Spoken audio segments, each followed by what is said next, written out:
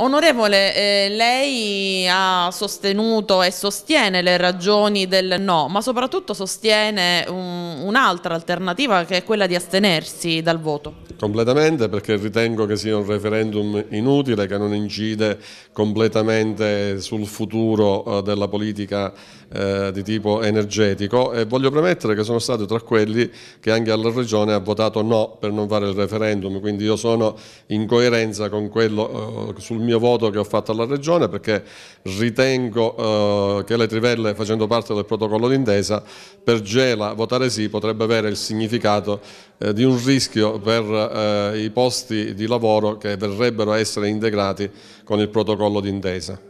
Questa posizione non è in spregio ai principi della nostra democrazia partecipata che ci dà l'opportunità comunque di eh, dire la nostra su argomenti molto importanti. La domanda mi piace, è molto intrigante, però io penso che libertà eh, significa anche libertà di non andare a votare e di sprecare un sacco di soldi per organizzare questo referendum. Il referendum lo ritengo inutile perché il quesito così come posto non ha nessun significato pratico, come dicevo prima, però eh, innalzare il livello culturale nostro e, e della gente e conoscere di più sicuramente non è uno spreco. Io andrò a votare no perché ritengo questo referendum sia imparziale e insufficiente.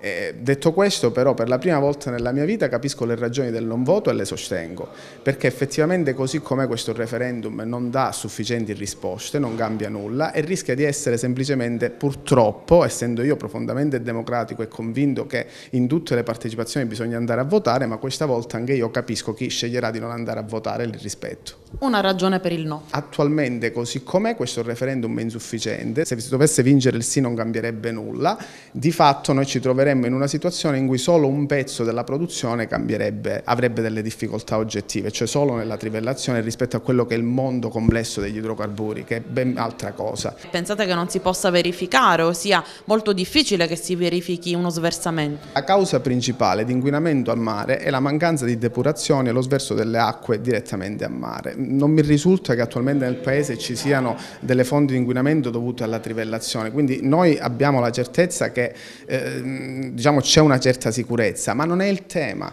È chiaro che rispetto a un processo di produzione industriale di qualsiasi tipo ci sono dei rischi. Il punto è se noi vogliamo continuare a essere un paese all'avanguardia e in questo caso una città all'avanguardia che mantiene un processo industriale oppure vogliamo perdere questo processo industriale per dedicarci all'incertezza. Però su una cosa voglio essere chiaro. Io sono convinto che il futuro siano le energie alternative, ma questo lo possiamo costruire solo nel tempo e negli anni.